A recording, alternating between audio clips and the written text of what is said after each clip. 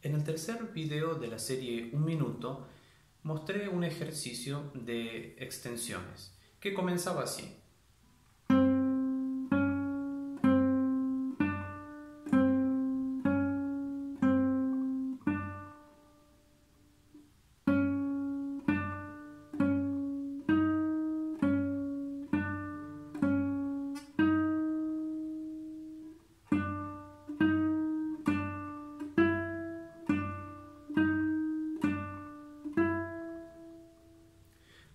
Continuaba con la combinación 1-3, 2-4 y 1-4, en la cual además de la extensión de un casillero, hacía 2 y también 3, por ser los dedos de los extremos. Este trabajo de las extensiones también lo comienzo, como mostré en otros videos, con la posición más natural, básica, que es la tercera cuerda y en la quinta posición. Como dije también antes, puede depender de los brazos y de las manos y puede ser cuarta, inclusive hasta sexta. En general, la quinta está bien.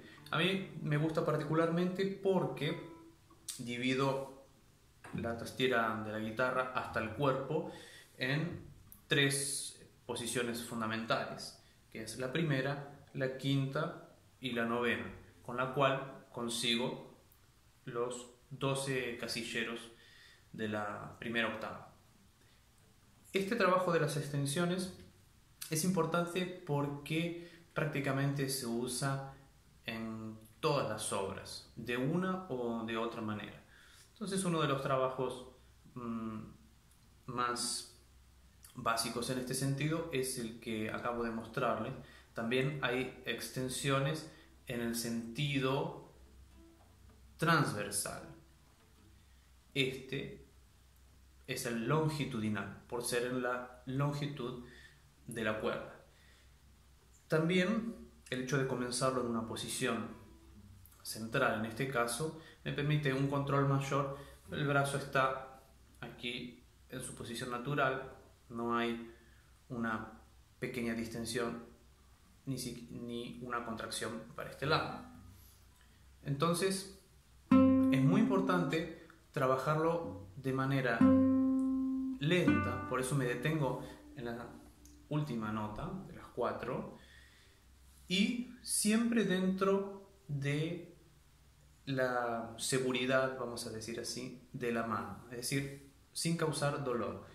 Es normal que sintamos un trabajo aquí, sobre todo cuando no se ha hecho ese, esos ejercicios durante un tiempo. Después la memoria muscular registra eso y automáticamente la mano va a las posiciones con extensión o con contracción según se precise. Pero es importante cuando se va a iniciar con ese tipo de, trabajos, hacerlo de manera eh, pausada, porque es la forma más rápida de llegar al objetivo. Intentar hacer rápido solamente es un movimiento abrupto que no le permite a la mano memorizar esa posición y esa sensación, que es lo más importante la sensación de la abertura. Entonces, por ejemplo, el más difícil es para casi todas las personas eh, el 2 y el 3. Es la abertura más difícil. Ustedes notarán que cuando voy a extender, este dedo tiende a generar una pequeña tensión. Entonces, no solo controlo